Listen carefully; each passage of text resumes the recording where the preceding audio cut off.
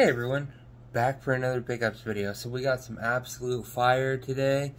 Been uh, doing some more tax season shopping, got some awesome pickups, a lot of stuff that I think all of you are going to enjoy.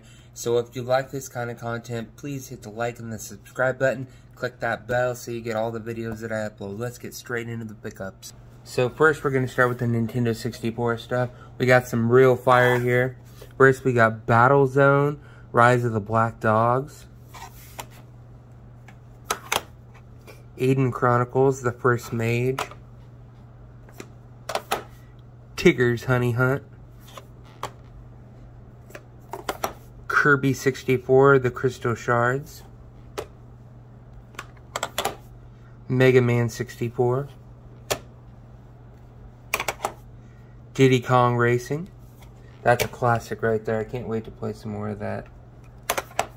Duke Nukem 64. Doom 64. Castlevania. And Gauntlet Legends.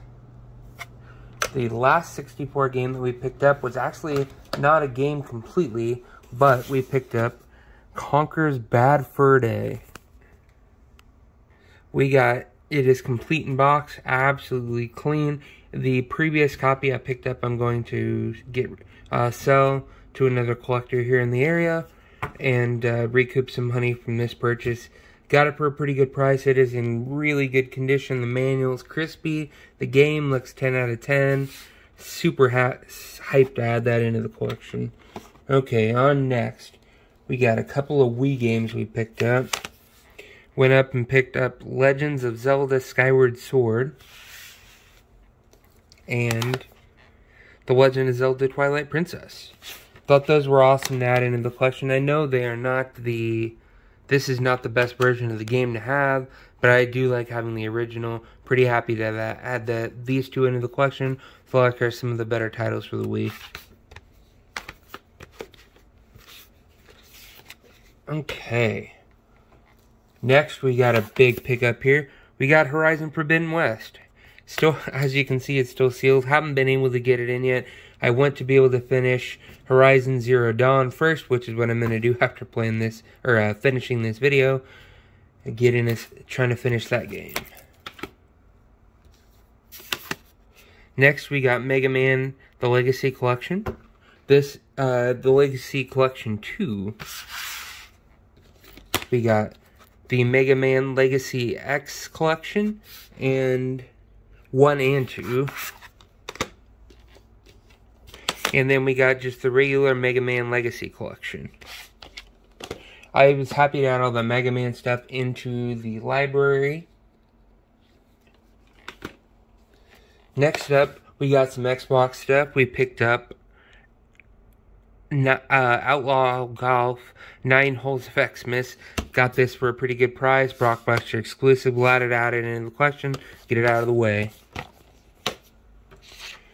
Then we got some 360 stuff here. We got two worlds. Nothing really that special there. And then we got two good hitters here. We got the BlazBlue games. We got BlazBlue Blur Continuum Shift and BlazBlue Calamity Trigger happy to have those into the collection. Definitely some staples to add in. And we got two more things here. We have, for the Wii U, Mario Party 10. Happy to add, add that into the collection there. Working towards adding some Wii U to the collection, getting harder and harder to find, with him getting ready to cancel the eShop here in the next few months. I want to add as much Wii U stuff to the collection before it skyrockets. And it's already starting to get there. And the last thing we got today is the strategy guide for Doom 64. They cut me a super good deal on it. I got it for $20 instead of the regular 30 it goes for. It's in pretty darn good condition to be completely fair for I've already read through it some. It's got a lot of helpful information in it. Okay, everyone. So, those are all the pickups that I've got from recently. Just letting everybody know, I am heading to Omaha this weekend to go to a couple of the game stores up there. We're going to be going to Ben's Game Zone again. Everybody knows the fire that's coming up from there. They recently had a drop for a bunch of 3DO stuff, so I can't wait to get up there and see what we're looking at. And then just letting everybody know a small channel update. For the rest of uh, March, I'm going to be ho uh, holding off from getting any other video games. For March, we're saving money for... I'm going to be at two different conventions in April. We're going to be at the Columbia Retro Gaming Expo in Columbia, Missouri. That's April Sunday, April 10th. And then I'm going to be at Midwest Gaming Classic in Milwaukee. And that it starts the 30th, 29th or 30th through the 1st in uh, Milwaukee. I got VIP pass to that. So if you want to meet me at either of those conventions, feel free to shoot me a message. I have a Twitter, Discord, uh, and then also, if you want, you can also leave a comment down in the uh, comment section. I think that's all I've got for everybody today. Go out there, play some games, and have some fun. I'll catch you guys in the next one. Bye.